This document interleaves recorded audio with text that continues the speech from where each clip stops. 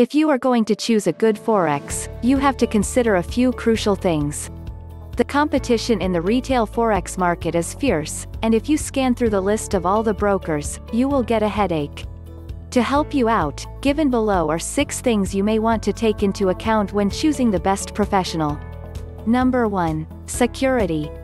Security level should be your first priority when making this decision. After all, you are going to hand over a considerable amount of money to a professional who claims to be an expert. Luckily, you can check the credibility of the professional easily as there are regulatory authorities that set trustworthy brokers apart from the fraudulent ones. Some of these authorities include NFA, CFTC, FCA, ASIC, SFBC, BaFin, and AMF, just to name a few. Before you choose a broker, make sure they are member of the relevant regulatory authority. Number 2. Transaction costs. You will have to bear the transaction costs no matter what type of currency you choose to trade in.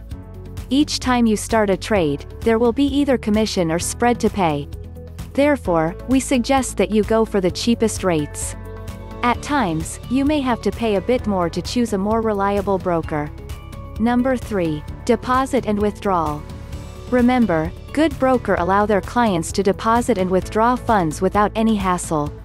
It's not in the interest of the professional to make it difficult for you to take out profits since their motivate to hold funds is to boost the trade. In other words, the broker will only hold the funds in order to facilitate the trade. Therefore, you can get the profits you earned anytime. It's the responsibility of the Forex broker to make sure the withdrawal process is smooth. Number 4. Trading Platform. The majority of trading activity occurs via the trading platform of the broker, which means that the platform should be stable and user-friendly. So, when hiring a broker, you may want to ensure that the platform is good.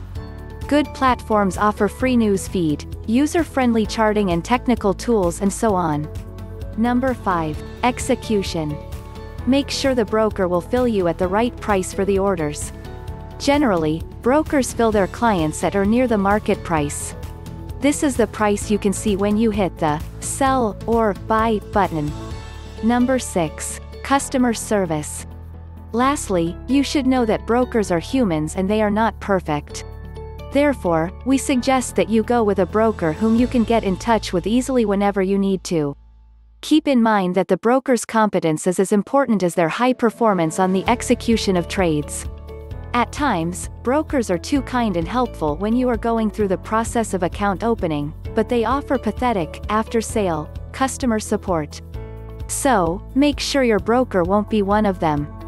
Hope these tips will help you choose the best broker.